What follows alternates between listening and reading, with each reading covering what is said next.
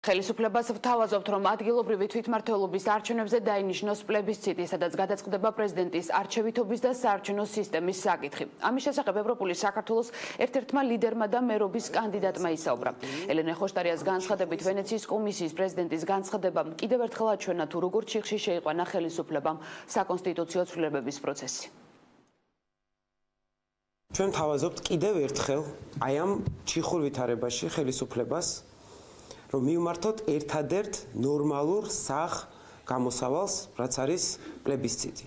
ვკითხოთ ხალხს თუ როგორი უნდა იყოს ჩვენი საარჩევნო სისტემა და როგორ უნდა გადაწყდეს პრეზიდენტის არჩევითობის საკითხი. სამწუხაროდ ძალიან ჯიუტი ძალიან არაგონივრული პოზიციის გამო ვერ შედგა კონსენსუსი პოლიტიკურ ძალებს შორის, ვერ შედგა კონსენსუსი საზოგადოებრივ ჯგუფებს შორის და დღეს ჩვენ მივიღეთ ძალიან ძიმე კრიტიკა ჩვენი ძალიან მნიშვნელოვანი საერთაშორისო პარტნიორებისგან.